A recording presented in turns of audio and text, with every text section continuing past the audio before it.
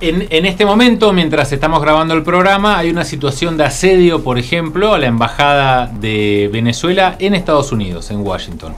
Hay un grupo de activistas eh, muy vinculados a la actividad humanitaria real, eh, que se llama el Código Rosa, el Code Pink, que están trabajando para eh, impedir que la derecha venezolana, la derecha de Miami, la derecha de Trump, que es prácticamente lo mismo, eh, tome por asedio la embajada. La policía también los está apoyando, pero bueno, hay un derecho internacional ahí vigente que hace que eh, vos no podés entrar a una embajada como si fuera un kiosco precisamente. Esta es la situación que hay en algunas embajadas en muchas partes del mundo. Hay como un asedio que organiza Estados Unidos con banca, obviamente, porque ustedes saben que la derecha no tiene militantes y no tiene intereses para moverse, en las cuales impulsan eh, la violencia al puro estilo fascista de asedio y de, y de lo que tiene que ver con rendir por hambre, amenazar con prender fuego, obviamente la homofobia, el racismo ante quienes este, se atreven a defender al proceso bolivariano y que se vivió esa situación, la que está pasando en este momento, estás viendo las imágenes, en Estados Unidos, en Argentina el día martes, con las imágenes de la represión contra eh, los militantes bolivarianos que fueron a defender la embajada de las agresiones de la derecha, arrancamos este informe que preparamos de esas 48 horas que conmovieron América Latina y el mundo, el frustrado golpe de Estado contra la revolución bolivariana. Mientras la policía enviada por el gobierno de Mauricio Macri ampara a personas que se hicieron eco del llamado golpista del diputado Juan Guaidó e intentan ingresar a las instalaciones de a las instalaciones. Organizaciones sociales denuncian que hay detenidos y múltiples heridos, uno de ellos con daños de gravedad. Me apoyó la escopeta del gas lacrimógeno y me la disparó en la oreja y me pegó con el cartucho del gas lacrimógeno. Yo lo puedo reconocer, pero ahora lo van a esconder. No puedo, tengo líquido en la cabeza. Me apoyó la escopeta del gas lacrimógeno y apretó el gatillo. Y está ahí. Y para ustedes, él es de lo bueno. Un tipo que me apoya la escopeta acá y dispara. Eso pasó. On February 8, 1982, you testified before the Senate Foreign Relations Committee about U.S. policy in El Salvador. In that hearing, you dismissed as communist propaganda report about the massacre of El Mosote, in which more than 800 civilians, including children as young as two years old, were brutally murdered by U.S. trained troops. During that massacre, some of those troops bragged about raping a 12 year old girl before they killed them. Girls before they killed them. You later said that the U.S. policy in El Salvador was a fabulous achievement. Yes or no, do you still think so? From the day that President Duarte was elected in a free election to this day, El Salvador has been a democracy. That's a fabulous achievement.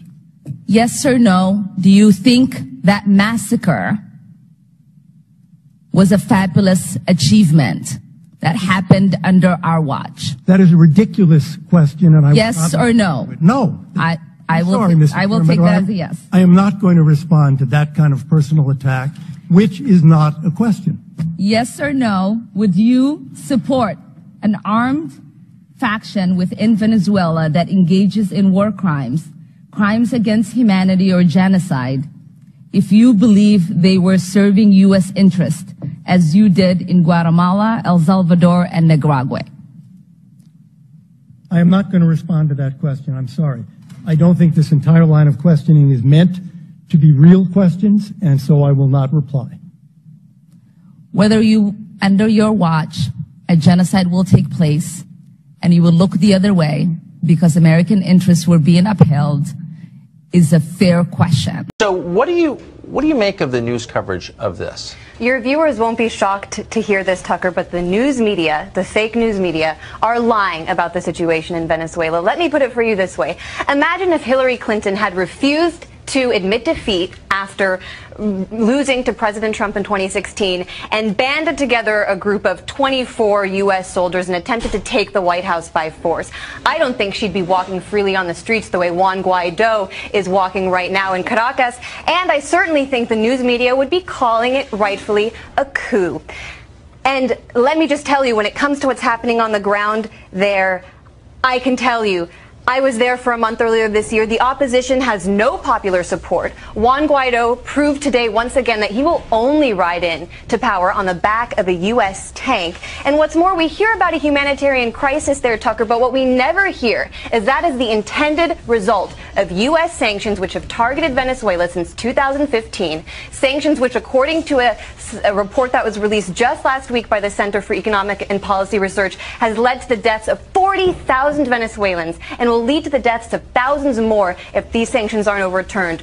President Trump, if he truly cared about the American or the Venezuelan people and the American people for that matter, he would end this disastrous policy. He would end the sanctions and he would look into John Bolton's eyes, into Elliot Abrams' eyes, and Mike Pompeo's eyes and say, You are fired. You are leading me down a disastrous path, another war for oil, something the president said. He you was, are passionate. He was celebrated by the American people when he said Iraq was a mistake, and now he's willing to do it again. But it is a bipartisan thing. I mean, Biden came out today and said he agrees. Absolutely, it is a bipartisan issue. So, it's interesting. It would be interesting to know why that is. Um, I believe in, a, in an open debate and I, am not sure I agree with everything you said, but I'm glad that you could say it here. And you were just there, and I, I don't think you'd be allowed in any other show to say that. No, I certainly don't. you would never out of time. So I really appreciate you oh, no, no, no. the opportunity I... because President Trump promised to drain the swamp, and he flooded his national security team with that exact swamp. Well, I agree with that, actually. Anya, thank you very thank much you, for your perspective. Good to see you.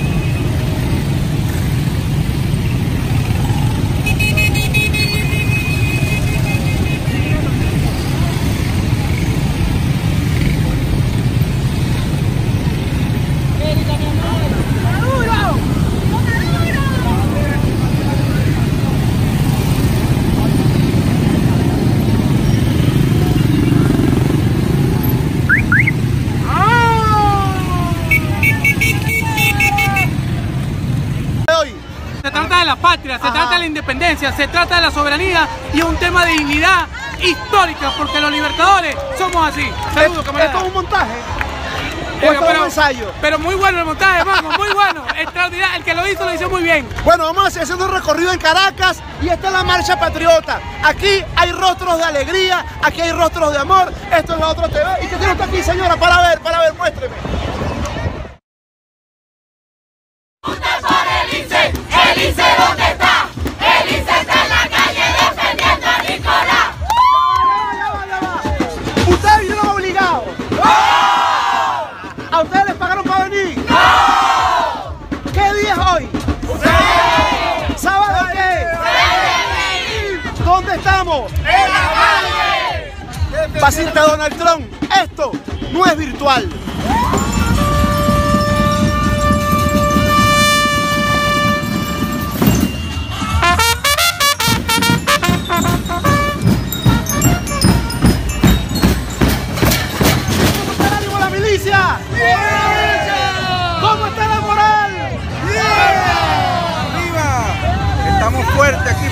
y, apoyando a nuestro comandante jefe Nicolás Maduro. Aquí está la milicia de Miranda, fortalecida y creciendo cada día más. Más de dos millones de milicianos. Bueno, vine a celebrar que por fin salimos de la OEA. Estamos demostrando que somos un pueblo que se respeta, somos soberanos y, y por eso mismo es que estamos pasando lo que estamos pasando. Por soberanos, por luchar por nuestra libertad de verdad. No la libertad que ellos nos quieren imponer. La libertad del capitalismo, no, la libertad de verdad, Venezuela, invaden Caracas, la infección del socialismo, nosotros y nuestros aliados, según ellos representamos esto, la oscuridad. Aquí vemos la represa del Guri como un objetivo, un objetivo militar, a ser atacado, bien curioso en este momento de la historia. Vemos la bandera de Venezuela en el mapa eh, con sus ocho estrellas. Vemos también por aquí el Ávila, el Ávila y el Guri allá botando agua. Eh, nos encontramos por aquí una referencia de Caracas que es la torre del Banco Provincial. También vemos grafitis, esténciles alusivos a la revolución, la firma de Chávez y este es uno importante. Eh, un stencil de comandante Chávez con la célebre frase vengan conmigo. Y un capítulo del juego, aquí vemos cómo asesinan al líder de la revolución con su boina roja y obviamente por la espalda. Esto es parte de las curiosidades. El sistema eléctrico está detrás, vamos.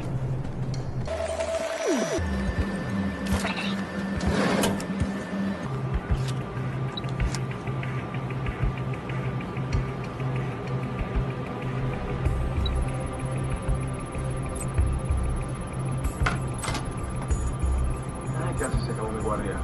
Ey, ¿qué hasta noche? Ah, a lo mejor me apunto. Eh, no le conviene. Acabe, Oscar, mucho la partida. Y hace trampas.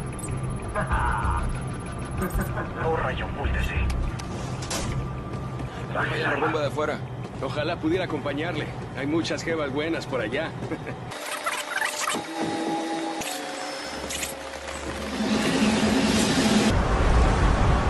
Apague las luces.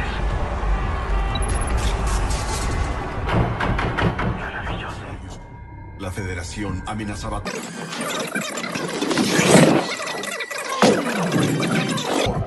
Obsesionó con él. Hablaba del tipo como si fuera un trofeo, una presa que cazar. No se detendría hasta que cobrasen.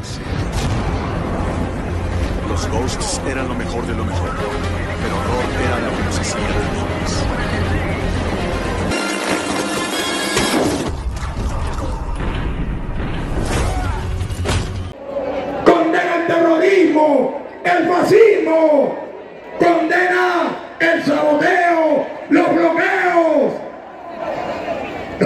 contundentemente el imperialismo norteamericano y por ello estamos aquí. Siempre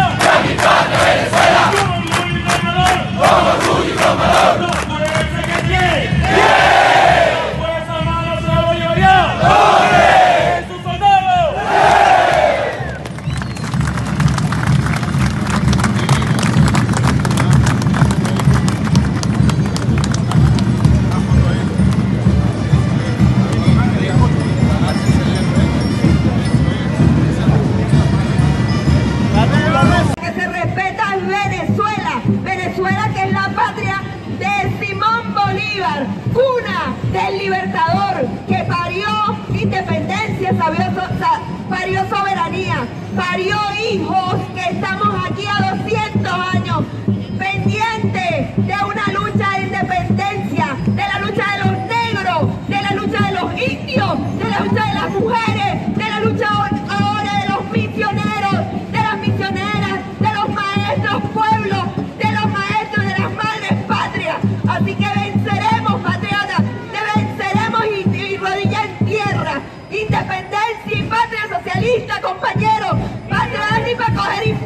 Nosotros estamos resfriados y le damos la vida si es necesario. En nombre del comandante Chávez, en nombre del comandante supremo Simón Bolívar, aquí estamos los mejores de sus hijos.